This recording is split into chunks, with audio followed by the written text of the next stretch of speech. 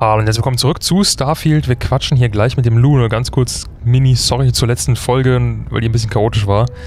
Äh, ja, einmal hat irgendwie der Nachbar einmal kurz geklingelt hier, dann musste der Hund ganz dringend raus und habe mich davor schon ein paar Mal angestupst und war alles leicht chaotisch und da war ich auch dementsprechend abgelenkt in der Folge. Ich soll nicht mit dir reden. Ganz ehrlich, ich will mal dem jetzt kurz quatschen. Der maut mich hier schon die ganze so dumm von der Seite an. Was ist denn dein Problem? noch in Schwierigkeiten. Aha. Okay. Willst nicht mit mir reden? Na gut. Dann quatschen wir mal mit Lou. Irgend so ein Topsider kommt in meine Bar und will Percival Walker finden. Da fragt man sich doch, was du von ihm willst. Das geht dich überhaupt nichts an.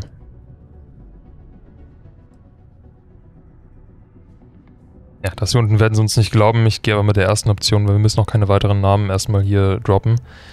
Ich bin für die Vanguard hier. Mu er muss sich was ansehen. Ach, wirklich? Tja, dann dürftest du ja keine Probleme haben, ein paar einfache Fragen über die Vanguard zu beantworten, oder? Zum Beispiel, was Supra et Ultra bedeutet. Du weißt schon, euer Vanguard-Motto. Ja, was tust, tut das denn zur Sache? Ähm, was war das nochmal? genau, Funkel, Funkel, kleiner Stern. War es jenseits und erhaben oder war es stark und erhaben? Oh Gott. Ich habe sowas nicht gemerkt. Ähm, ich sag mal die oberste Option. Habe ich mir gedacht. Du erzählst Scheiße. Ich kann dir nicht helfen. Bitte, es könnte Leben in Gefahr sein. Sag mir einfach, wo ich ihn finde. Stopp. Selbst wenn ich wüsste, wo er ist, erzähle ich doch niemand dahergelaufenem. Ha, vielleicht kannst du da ja was machen. Percival hat Schulden bei der Handelsaufsicht. Das weiß ich. Und zeig, dass du mit ihm und den anderen Devils befreundet bist. Und Freunden helfe ich immer gern. Wie soll ich deiner Meinung nach Percivals Namen reinwaschen? Nun, der direkteste Ansatz wäre, einfach bei der Aufsicht reinzuspazieren und die Schulden gleich zu begleichen, falls du Credits hast, die du nicht brauchst. Angeblich speichert die Aufsicht ihre gesamten Unterlagen und Inkasso-Dateien auf einem zentralen Server in ihrem Lagerraum.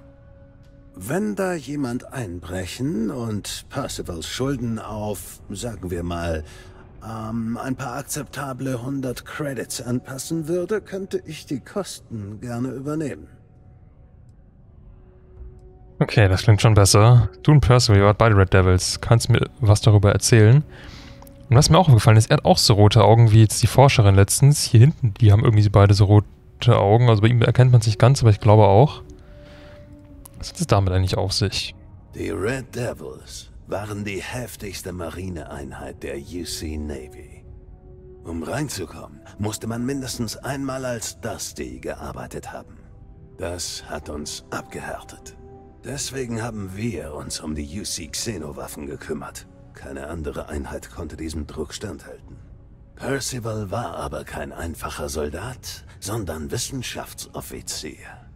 Hat dafür gesorgt, dass sich die Monster bei uns benahmen und bei allen anderen nicht.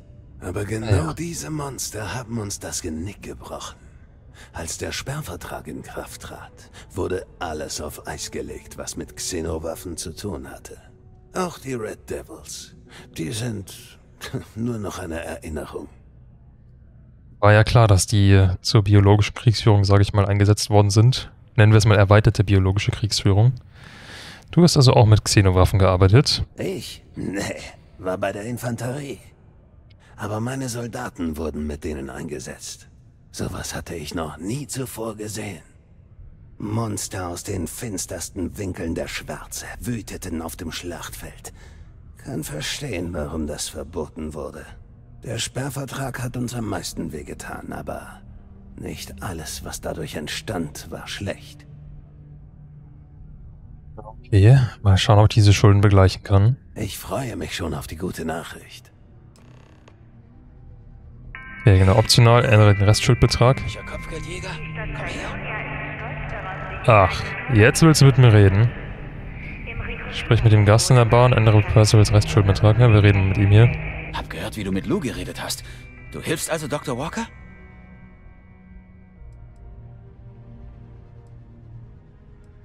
Warum? Weißt du, wo ich ihn finden kann? Oh, nein. Ich habe eine Vermutung. Aber du willst Percival doch helfen, oder?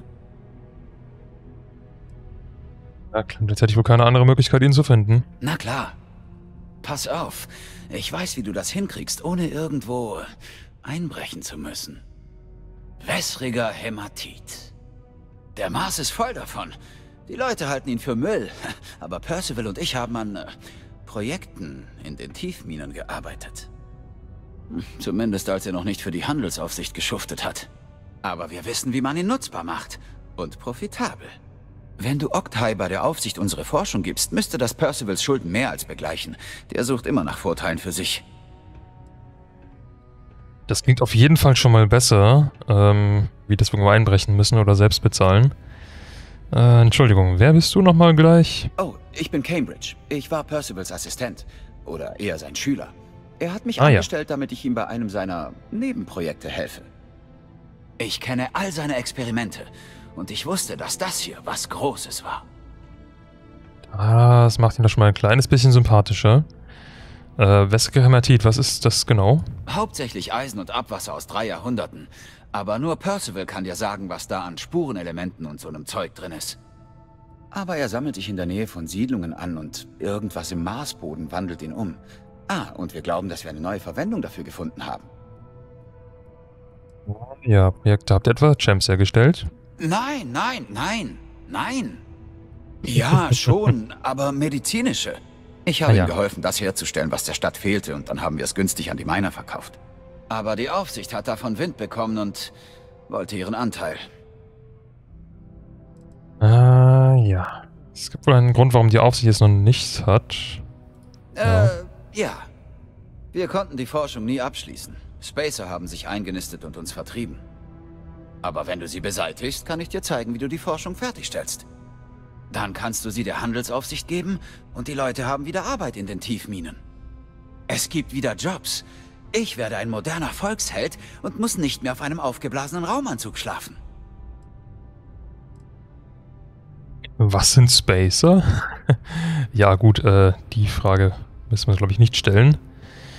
Aber klingt auf jeden Fall besser, wie wenn ich irgendwo ähm, einbrechen muss. Und Spacer vermöbeln tun wir doch immer gerne. Na ja, gut, sag mal einfach, wo diese Mine ist. Ja, ja. Der Zugang zu den Tiefminen liegt außerhalb der Stadt. Ist nicht weit. Du musst wahrscheinlich nicht mal dein Schiff nehmen. Wir waren beim Hauptbohrer. Wenn du den Spacer-Anführer ausschaltest, dürfte der Rest die Botschaft verstehen und sich verziehen. Melde dich danach über das Kompfeld bei mir. Dann kann ich dir zeigen, wie du die Forschung zu Ende bringst. Okay, klingt doch soweit schon mal ganz simpel. Arbeitsroboter. Ja, ich bin an dir vorbeigelaufen, alles gut. Kein Stress hier.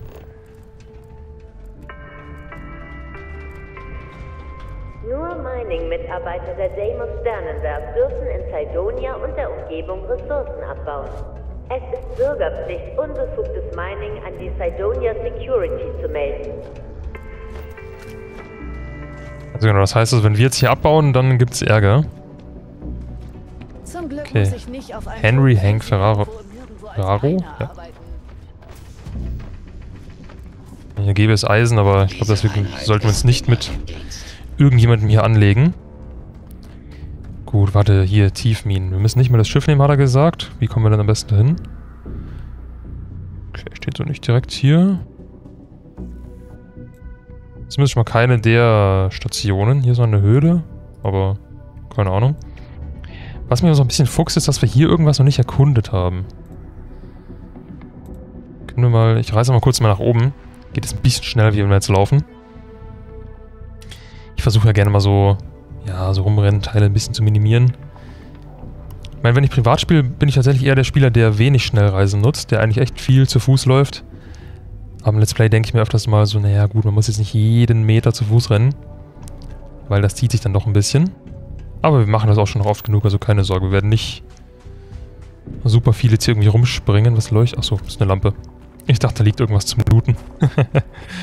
da war ich gleich wieder bereit. Ah, wo geht's denn da nicht noch rein? Da fällt mir gerade ein, wir wollten doch eigentlich mal noch bei äh, Jamison ja auch noch in irgendeine so Tür hinten reinschauen. bei dem äh, Launchpad hier. Das ist hier Freestar Pickup. Oh Gott, ist das ein Monsterschiff. Das hat, glaube ich, ordentlich Frachtraum. Ah, unzugänglich. Okay, hätte mich auch gewundert, wenn wir da einsteigen könnten. Das heißt durch Einbruch oder sonst wie. Das hier nicht... Storage könnte... Aber die kann man nicht looten, ne? Nee, das sind die ganz normalen Festen. Weit ist denn die Mine da hinten weg? Also sie ist zwar hier in der Nähe. Ich schätze, wir werden sowieso oder so hinlaufen müssen.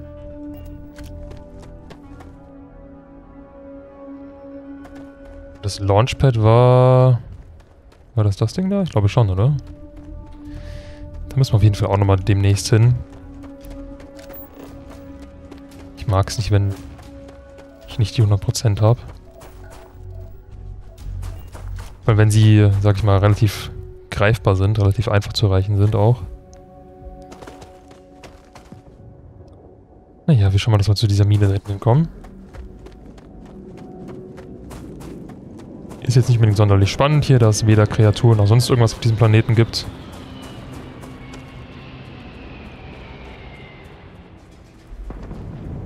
Die landen irgendwo anders, okay. Warte, ich schau mal doch ganz kurz. Da landen? Also ich kann, ja, ich kann nicht schnell reisen, wenn ich springe oder falle, natürlich. Äh, Moment. So.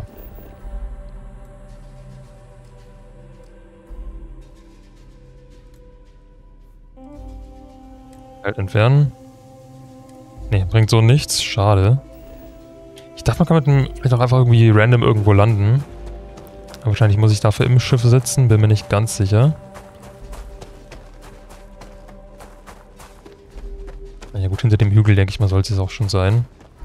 Ist zwar noch keine Meter Entfernung angezeigt. Ach doch, jetzt so. Ah, deswegen, weil der Ort nicht direkt hier auf der Karte auftaucht. Ich dachte, es wäre noch weiter, deswegen wollte ich auch schon fliegen. Oder irgendwie schnell reisen.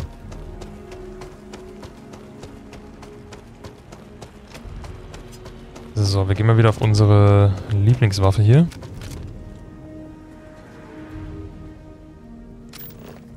Muss mal irgendwann ein bisschen durchsortieren. Bei den Favoriten, weil aktuell wähle ich zu oft die Sachen aus, die ich gar nicht haben will an Waffen.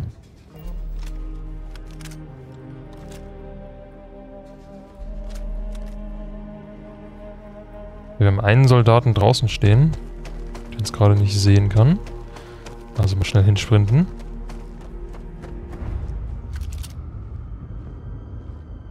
So, verlassene Minen.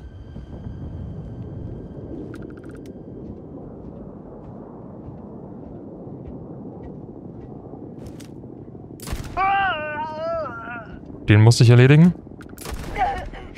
Und den auch.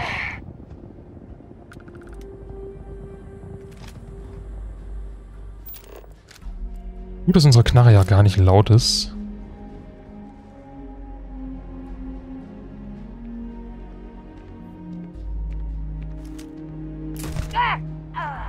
Das bezahlst du!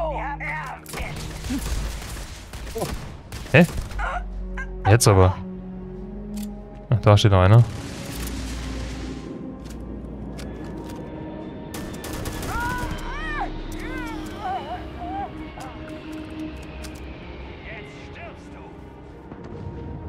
Tue ich das?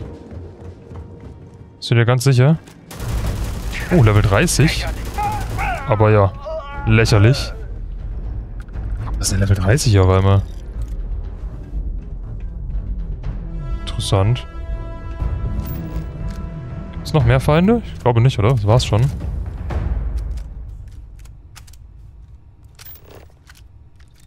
So, dann wie immer erstmal hier in den Scanner-Modus.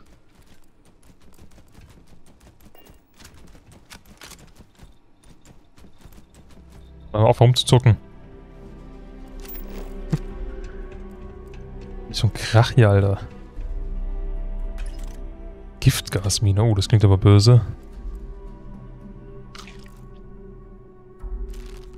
Ah, das nehmen wir noch gerne mit. Oh, mächtig Munition. Lalalalalalala.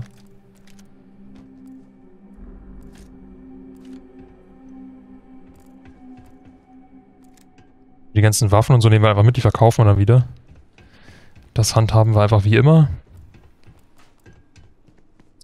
Genau, gleich rein. Wir looten ganz schnell nach draußen die anderen, die wir alle weg, weggeballert haben. Die würde ich mir gerne zuerst mitnehmen.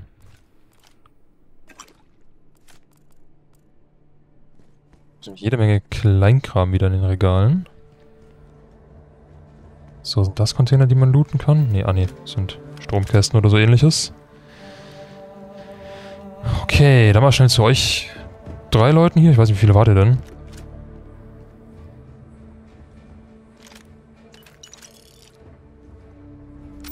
Das war es wahrscheinlich eh schon. Ah, da hinten noch. Eventuell. Ne, nur Müll. Ja, aber hier.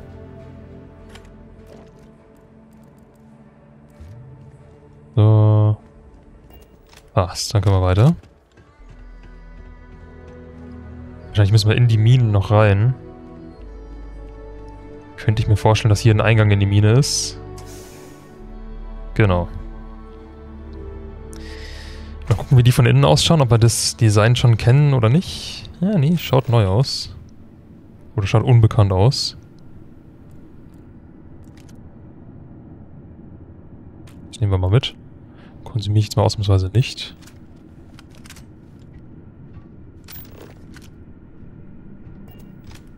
Wir schleichen trotzdem mal erstmal hier rein. Wissen ja nicht, ob hier noch welche auf uns warten. Also der Kommandant muss ja hier noch sein. Hier haben wir noch die Aufgabe. Wir haben jetzt irgendwie einen relativ ja, High-Level-Gegner getötet. Aber da hieß nur Spacer Abschaum, also war das nicht, nicht der, den wir töten müssen.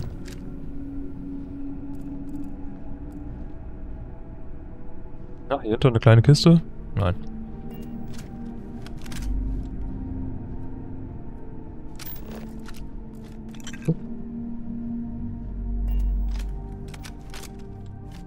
Mach die Lampe ja mal gar nicht so gerne an, ehrlich gesagt.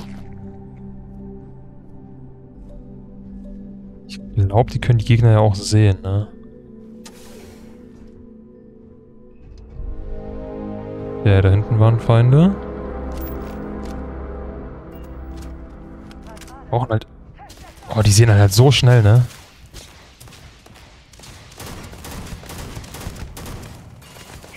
Was wir definitiv noch brauchen, das wollte ich mich gerade eben sagen, ist ein richtiges Scharfschützengewehr.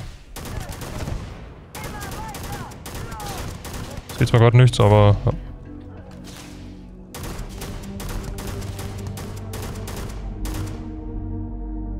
Ah, zeig dich.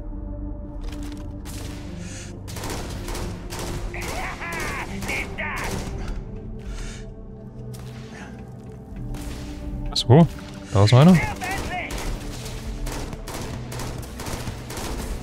Ding. Einmal nachladen. Drei Gegner haben wir auf jeden Fall auf der Karte noch angezeigt.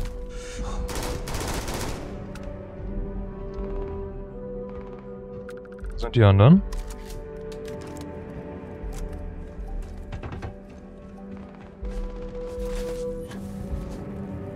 Da hinten. Wir fliegen aber mal ganz entspannt hier rüber.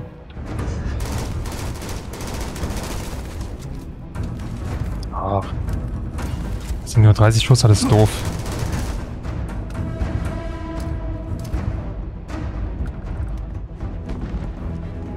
Die hat gesessen. So, den haben wir auch. Einen gibt's noch. Hätte ich ihm eine wunderschöne Pistole raus.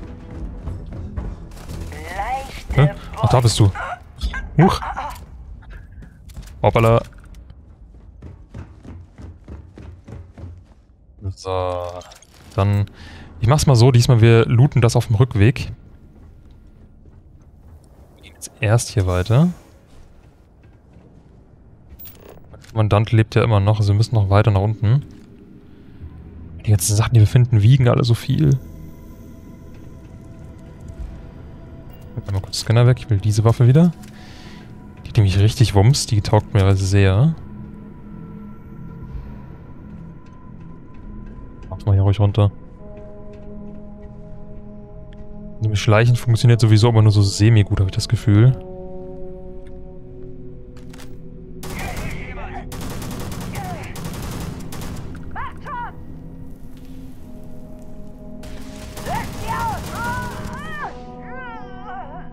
Ah, zeigst du nochmal dein Köpfchen? Jawohl.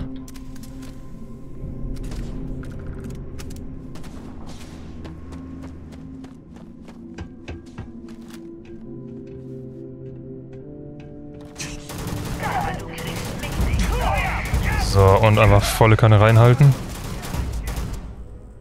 Okay, zwei leben noch. Will den einen von hier drinnen überraschen? Hier durch? Ja, nee, schade, ich hätte gedacht, wir können runterlaufen. Ui, und Surprise. Ah, wo bist du? Hä?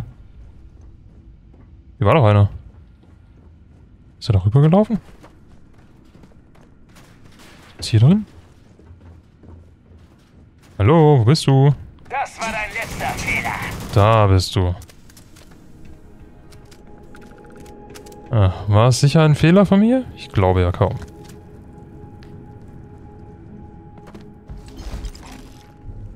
So, ich snack ja wieder komplett ganz schnell durch. Wie, der Safe ist leer. Was ist das denn? Ah, Klebstoff. Ja, hervorragend. Der Safe ist auch leer. Dichtmittel nehme ich auch mal gerne mit, aber der Safe, den kann man noch entsperren. Ich hoffe, der hat auch was für uns. Warte mal, so würde das gehen. Mal schauen, was nur außen einsetzbar ist. Das hier zum Beispiel.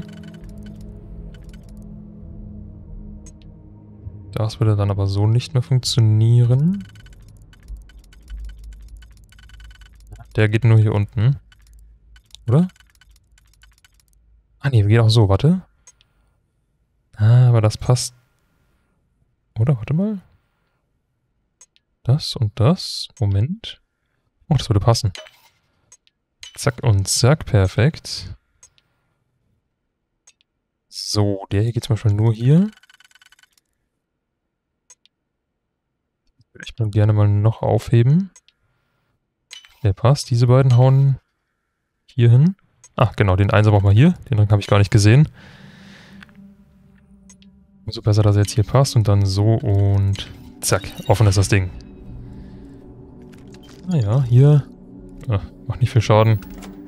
Gibt ein bisschen Geld. So, einmal wieder, wie immer, alles. Ach, egal. Wird eh nichts Wichtiges drin sein. So, was habt ihr noch hier drin? Auch leere Saves. Ja, also diese Essenspacken, so, die muss ich danach dann wieder mal aussortieren, konsumieren, wie auch immer.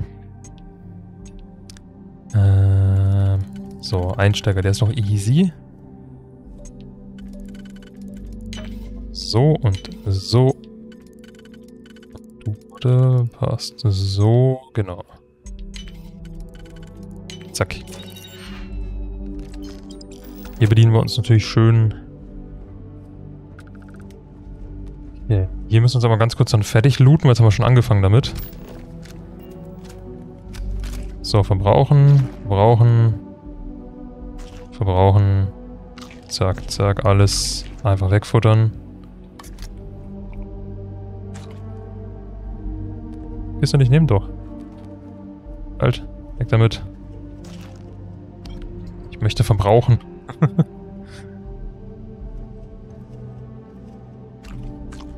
halt so krass, wie viel man halt eigentlich essen muss, bis man das Leben wieder regeneriert hat. Aber deswegen futter ich das jetzt einfach nur so alles weg jetzt hier.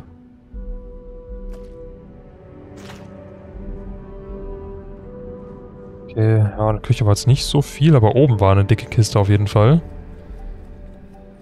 Aber hier möchte ich mich noch umschauen, ob vielleicht nicht wieder irgendwo so eine Zeitschrift oder sowas rumliegt.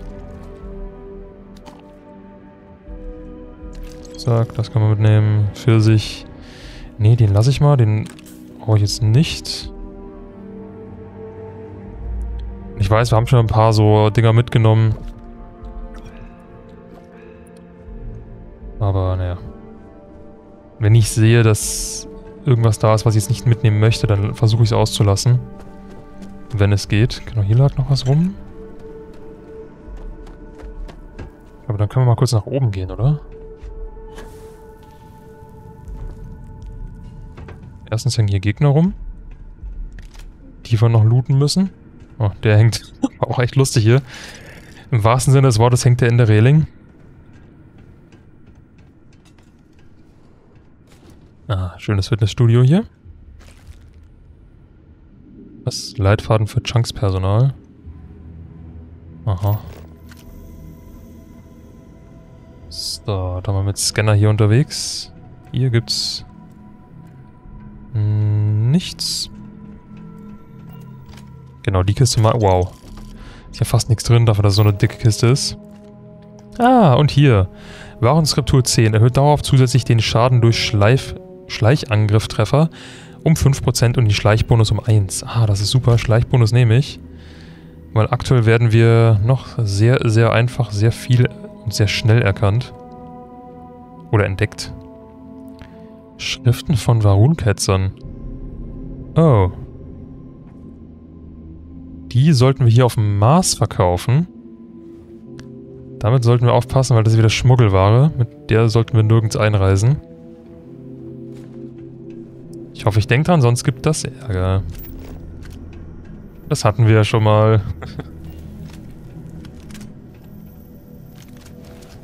das ist auch schon bessere Tage gesehen. Oh, die Füße hängen da unten drunter. Oh, das ist ja unangenehm.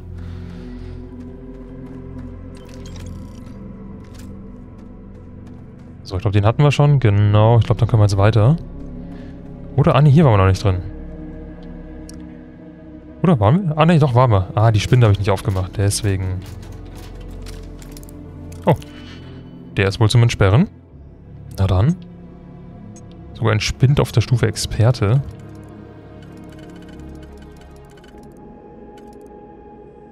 So, wir haben einen Einser, sogar mehrere. Perfekt, dann nutzen wir den gleich.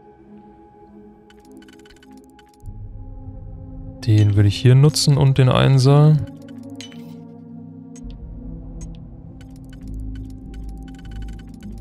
So, der geht hier und der geht hoffentlich auf der anderen Seite. Jawohl. Zack, zack. Das ging noch easy.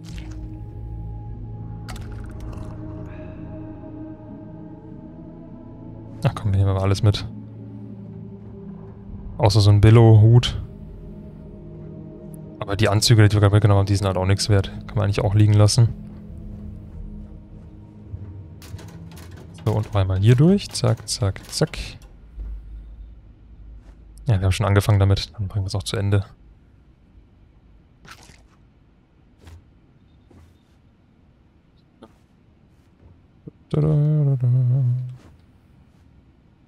Das nehmen wir noch so mit. Zack und zack, das nehmen wir auch mit. Und das da unten futtern wir weg. So, genau, hier ist die Küche, hier waren wir auch schon drin, aber hier liegt noch was zum Futtern. Ein Chunks Cheese Steak. Okay, jetzt aber weiter. Oder war hier oben noch was? Nee, gell? Nee, ah genau, hier waren wir gerade eben schon.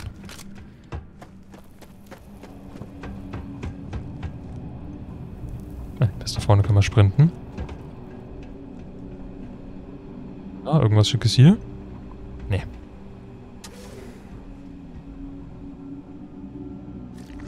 Oh Gott. Thermoparasit. Ich wollte gerade schon sagen, was ist das denn da ekelhaftes? Sah komisch aus. Aber vielleicht sind das ja die komischen Eier, die dann in die Menschen reinschlüpfen mit den Parasiten. Daraus werden dann die Terrormorphs. Wer weiß, wer weiß. Ich würde sagen, ich verabschiede mich mal aus dieser Folge und in der nächsten Folge gucken wir mal, dass wir diesen Commander der Spacer hier finden. Und hoffentlich dann auch bald dem Dr. Wie heißt er? Walter? Keine Ahnung. Helfen können. Und ihn auch vor allem finden können. Und ja, bis dahin, ich bedanke mich vielmals fürs Zuschauen und bis dann, macht's gut. Tschüss.